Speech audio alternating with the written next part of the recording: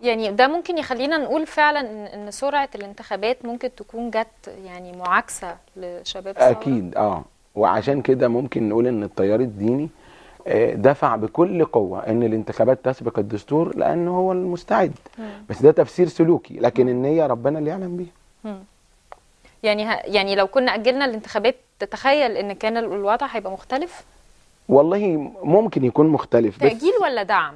ولا لو كنا دعمنا شباب الثوره لا بالعكس الدعم ما كانش هيبقى هو المكسب. المكسب إن هم اللي يكتسبوا الخبرات. لكن كان على الأقل لازم نبدأ البداية الصحيحة. يعني أنا مش معنى إن أنا بقول إن مصر مختلفة إن أنا ما أتعلمش من الغير. التجربه التونسية تجربة عظيمة جدا. البداية بدستور. ده الطبيعي. أي دولة في العالم بتبدأ بدستور. طبعا. هو اللي بيحط الخطة والخريطة طبعا. وكل شيء.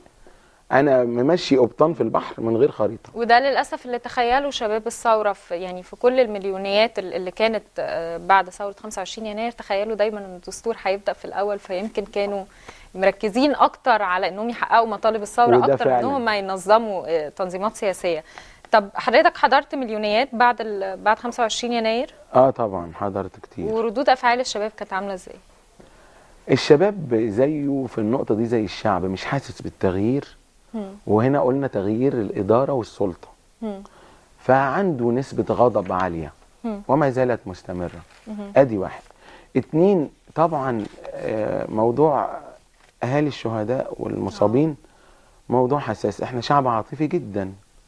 وعدم حصولهم على حقهم.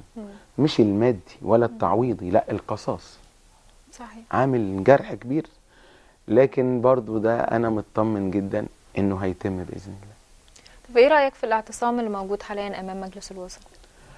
طالما هو ما بيعطلش مصالح وفي إطار معين خلاص. طب القانون تفتكر حله إيه؟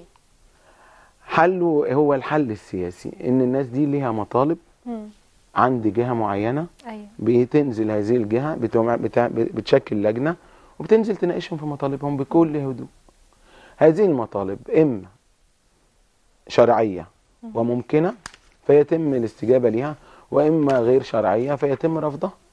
بكل بساطة الحل السياسي عايزين يعني نبتعد بقى عن إن مش الأمن العنف هو الحل. يعني كان بيتقال إن ال- الحل أمني لا ده حل اسمه حل عنف.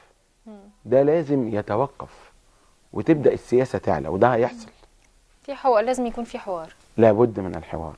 صحيح. لابد من الحوار. كان في كلام كتير جدا احب أتكلم معاك فيه النهارده بس للأسف فقرتنا خلصت. أستاذ عبد. العزيز شهباز الخباز الفصيح. إن شاء بشكر الله حضرتك جدا ونورتنا ويعني إن شاء الله نلتقي بيك في فقرات قادمة. بإذن الله. بشكرك جدا بشكرك يا أستاذ جدا. مشاهدينا أعتقد معانا تقرير دلوقتي عن آه، آه، عزاء آه، كاتبنا ال- الكبير.